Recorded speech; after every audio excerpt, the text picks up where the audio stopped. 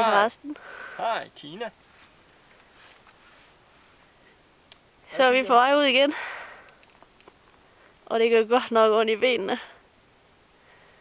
Og man kan se derovre i, i det fjerne. Der er sådan en top.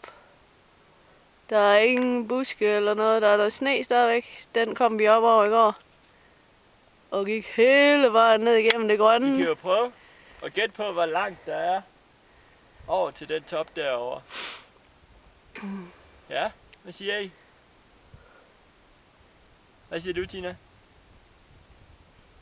Der er cirka 12-13 km derover til, Lidt ikke? mindre, tror jeg. Jeg tror, det er omkring 12. Nej, for der er 12,5 hen til liften. Men det er lige om på den anden side. Nej, Nej, det er, det er, det er rigtigt, ja. Det, der, det er fløjtetoppen. Det er fløjtetoppen. Ja, så måske 10 km derover. Ja.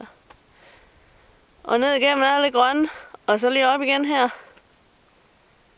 Man Og kan se, man kan se Tjekkemos Lake dernede, en lille bitte smule af den. Det er blå-grønne dernede mellem træerne.